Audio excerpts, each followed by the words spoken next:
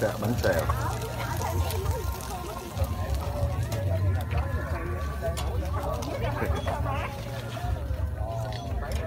Bỏ rồi bỏ bánh tráng này vô yên sách vậy. em cho cái răng đó em hên hên quá bánh xèo ăn sau Dạ. tưởng nãy cho bánh xèo ăn trước là chết luôn á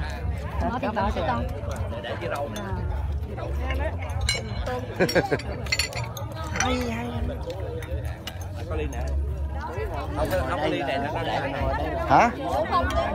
Nè. ba có tuyên bố gì không tuyên bố nãy giờ rồi. Tuyên bố gì đó. Tuyên bố rồi. Là mọi người ngồi chờ kìa. Vậy hả? Tuyên bố lặng.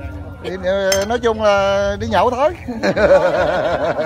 Ủa đơn giản như vậy à đi nhậu thôi. Đi nhậu. Ờ, nhậu thôi. Không có lý do gì hết á Ê, ê, nãy tao tao chỉ sợ nó cho ăn bánh xèo trước nhưng mà nó ăn sau cũng được ha. Dạ thôi nói chung là từ từ rồi mình cũng ăn đôi. Cho em nó em nó là ok.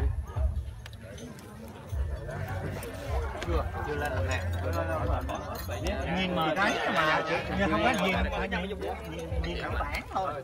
Biết là được vô đó vô đó.